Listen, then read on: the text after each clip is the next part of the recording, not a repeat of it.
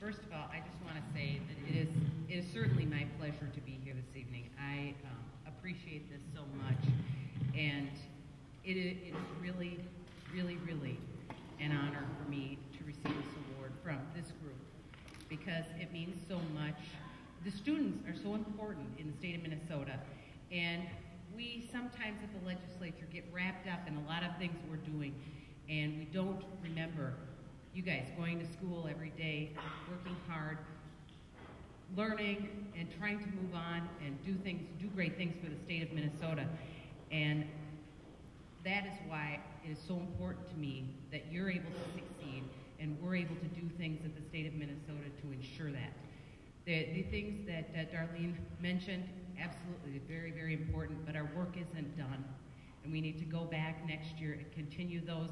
There are things that we're going to be, it's not a budget year, it is a bonding year, and uh, fortunately we're seeing a little bit of a surplus for next year. It'll be most likely going into reserves so that, uh, because that's where it's statutorily dedicated, so we won't see a lot more spending, but we've got to protect what we were able to gain last year and continue through on some of the policy issues.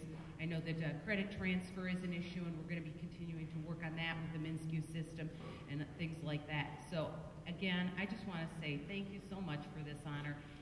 You're so important to me. I, both of my kids are at St. Cloud State right now. I'm a graduate of St. Cloud State, and Jason would be remiss if I, or would be upset with me if I didn't give my joke that my family is a pack of huskies because we all went to St. Cloud State. So, but um, it, it I, I, can't impress upon you so much that those you're all so important to me. And as the legislative, uh, as the uh, chair of higher ed, your, the students are so important.